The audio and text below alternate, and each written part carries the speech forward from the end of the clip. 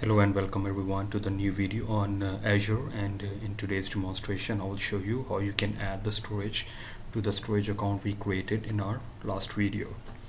So let me log on to my Azure portal by putting in my credential. And I'm using the same uh, free trial version that I had used for the last video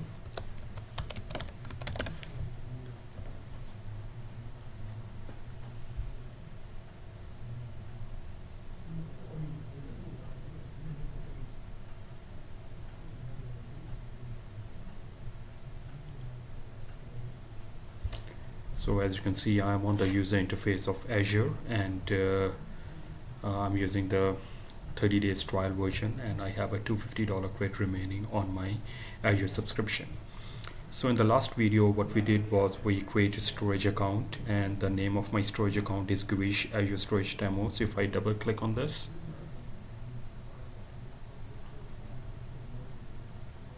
it gives me further properties of this. So the first thing that I want to do from here is I want to go to containers under blob services. And you will click on the plus button on the container. And here you will create your storage. So let's give the name and make sure that your name is as per the Microsoft standard.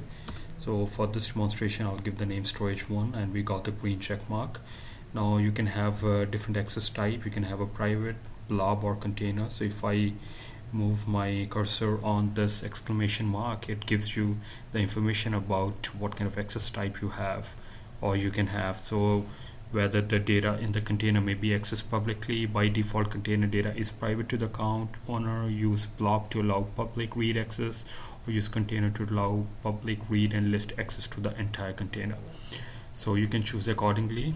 But for this demonstration I'll select private access and I will click on the create button.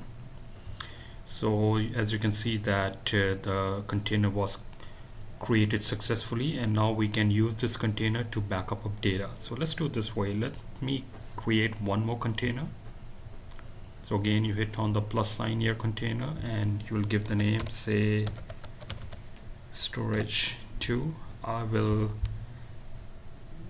this time I'll make it blob access type and you'll hit on the create button.